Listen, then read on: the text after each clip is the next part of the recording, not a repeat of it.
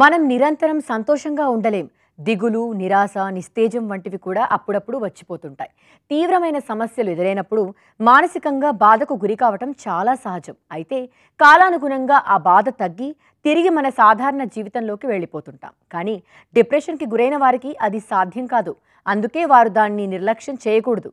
దిగులే కదా అదే పోతుందిలే అని కాలయాపన చేయకుండా చికిత్స తీసుకోవాలి. అలాగే సాధారణ దిగులుని డిప్రెషన్గా భావించి ఆందోళన చెందటం కూడా సరికాదు. ఈ అంశం గురించి ఇప్పుడు తెలుసుకుందాం.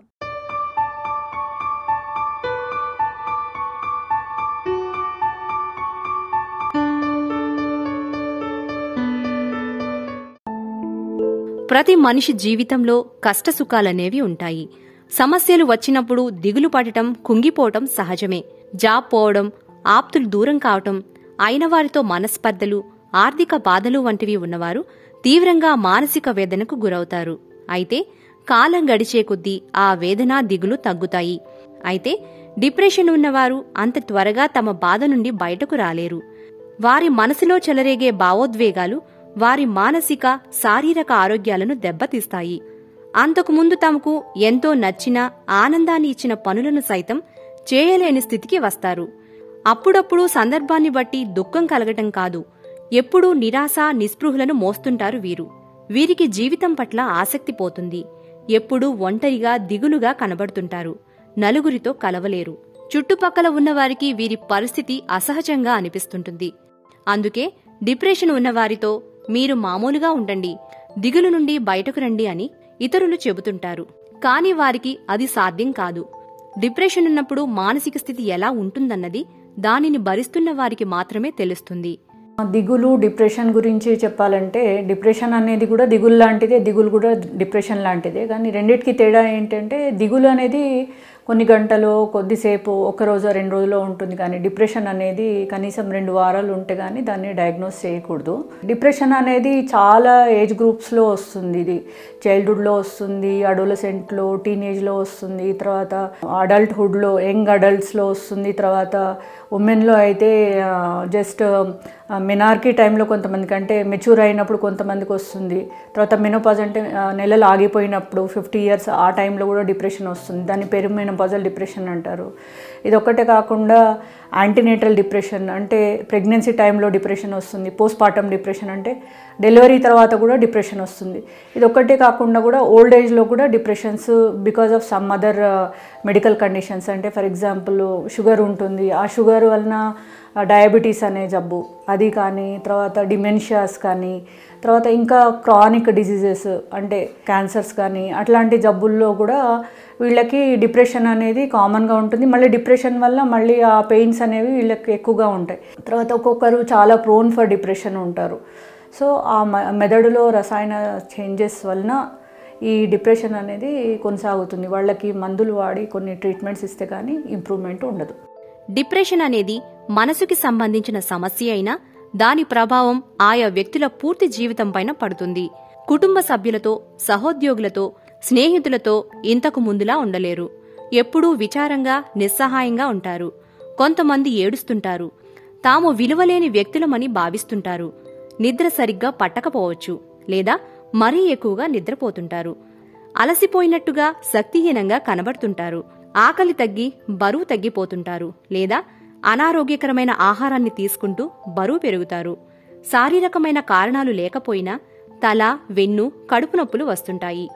తమ పైన తమకు శ్రద్ధ ఉండదు. ఆలోచనల్లో స్పష్టత ఉండదు. ఆత్మహత్య ఆలోచనలు వస్తుంటాయి. అయితే అందరిలో ఇవే లక్షణాలు ఉండాలని లేదు. అలాగే కొంతమందిలో ఈ బాధలు తీవ్రంగా ఉంటే కొందరిలో తక్కువ స్థాయిలో ఉంటాయి. అలాగే ఈ బాధలు నిరంతరం ఉండకపోవచ్చు. డిప్రెషన్లో సామాన్యంగా బాడీ పెయిన్స్ అనేవి ఉంటాయి. హెడ్ ఏక్స్ ఉంటాయి చాలామందికి అది మైగ్రేన్ అనుకుంటుంటారు. ఒక్కోసారి మైగ్రేన్ ఉండకపోవచ్చు అది. టెన్షన్ హెడేక్ అనుకుంటారు. లేదు నెక్ పెయిన్ ఉంటుంది. వీపు నొప్పి ఉంటుంది నడుము నొప్పి ఉంటుంది కాలు చేతుల నొప్పులు ఉంటాయి తొందరగా అలసిపోవటం. ఇవన్నీ కూడా సెరటోనిన్ అనే కెమికల్ ఇంబ్యాలెన్స్ వలన ఉంటుంది. ఈ వాళ్ళ జీవితము ఎలా ఉంటుందంటే క్వాలిటీ అనేది డిస్టర్బ్ అవుతుంది. క్వాలిటీ ఆఫ్ లివింగ్ అనేది. అంటే వాళ్ళు తృప్తిగా జీవించలేకపోతారనమాట అంటే వాళ్ళు చేసే పనులలో డైలీ ప్రొఫెషన్స్ ఏ ఉంటాయో జాబ్స్ ఏ ఉంటాయో లేదు స్టూడెంట్స్ అయితే చదువులో కానీ వాళ్ళు టు ద కంప్లీట్ చేయలేకపోతారు.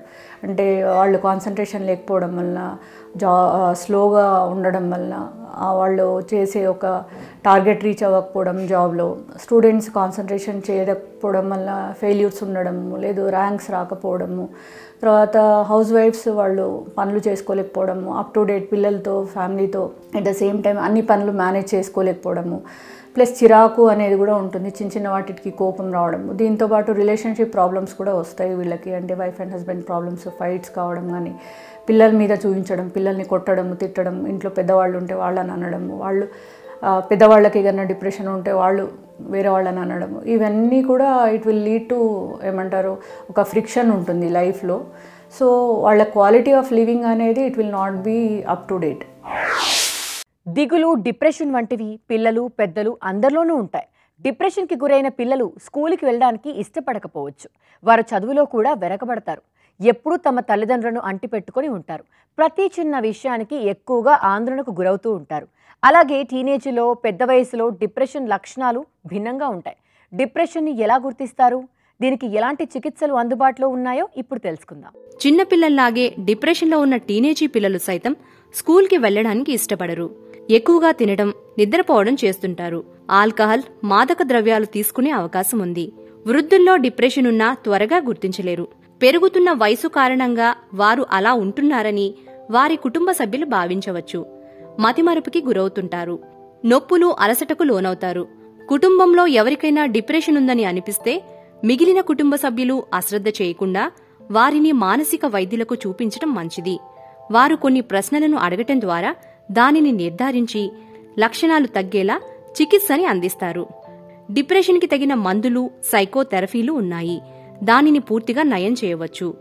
తమకు డిప్రెషన్ ఉందని తెలిస్తే ఎవరైనా ఏమైనా అనుకుంటారేమో అనే భయం సందేహం అక్కర్లేదు. చికిత్స తీసుకుని తిరిగి సాధారణ జీవితం జీవించే అవకాశం హక్కు తమకున్నాయని గుర్తించాలి. డిప్రెషన్ నుంచి బయటపడడానికి ఒకటే ఒక మార్గం అది డాక్టర్స్ని అప్రోచ్ అయ్యి ఇమీడియట్గా ట్రీట్మెంట్ తీసుకోవడము. ఐదర్ సైకాట్రిస్ట్ కానీ సైకాలజిస్ట్ కానీ ఫ్యామిలీ ఫిజిషియన్ని కానీ కంపల్సరీ అప్రోచ్ అవ్వాలి. అర్లీగా డయాగ్నోస్ చేసుకొని జస్ట్ స్టార్ట్ అయినప్పుడే మనం ట్రీట్మెంట్ తీసుకుంటే ఆ కోర్స్ అయిపోగానే మనము ట్రీట్మెంట్ ఆపేసుకొని కోర్స్ అయ్యే టైంలో కొన్ని counselling sessions cognitive behaviour therapies supportive psychotherapies అలాగే మనకి మ్యూజిక్ థెరపీ ఆల్టర్నేటివ్ థెరపీస్ తర్వాత యోగా ఇవన్నీను ప్లస్ ఫ్యామిలీ సపోర్ట్ ఇవన్నీ ఇస్తే వాళ్ళు తొందరగా రికవర్ అవుతారు. లేదంటే అది ఇంకా వ్యాధి ముదిరిపోయింది అని అంటే మటుకు దాన్ని ట్రీట్ చేయడము ఎక్కువ రోజులు పడుతుంది. దీనికి ప్రజల్లో అవగాహన చాలా ముఖ్యము ట్రీట్మెంట్కి ముందుకు రావాలంటే. ఒకటి గుర్తుపెట్టుకోవాలి ఏంటంటే ఇది పెద్ద భయంకరమైన జబ్బు కాదు. ఇది జస్ట్ లైక్ కోల్డ్ కాఫ్ జలుబు ఎలా వస్తుందో ఇది కూడా అలాంటిదే సైకాట్రీ దీంట్లో. కనుక ఇంట్లో వాళ్ళు తర్వాత కొలీగ్స్ అందరూ అర్థం చేసుకొని వాళ్ళని సపోర్ట్ చేస్తూ వాళ్ళని టీజ్ చేయకుండా యాక్ట్ చేస్తున్నావు అని చాలామంది అంటుంటారు. అలా అనకుండా వాళ్ళని హెల్ప్ చేయాలి డాక్టర్స్ దగ్గరికి తీసుకెళ్ళడానికి. ప్లస్ మందులు ఇచ్చేటప్పుడు కూడా వాళ్ళకి ఒక ఎంకరేజ్మెంట్ అంటూ ఇవ్వాలి. దీంతో ఒక పర్సనాలిటీ చేంజ్ అనేది ఉండదు. మనుషుల మనస్తత్వం అనేది ఎలా ఉంటుంది? అలానే ఉంటుంది. ఒకటి ఏంటంటే ఇది ఇది తీసుకోవడం వలన వాళ్ళ క్వాలిటీ అనేది చాలా ఇంప్రూవ్ అవుతుంది. వాళ్ళు చేయగలిగే పనులన్నీ కూడా చాలా ఇంకా బాగా హుషారుగా చేసుకోగలుగుతారు. ఇది ఎప్పుడైతే అర్థమవుతుందో సొసైటీలో then they will come for regular treatment and follow up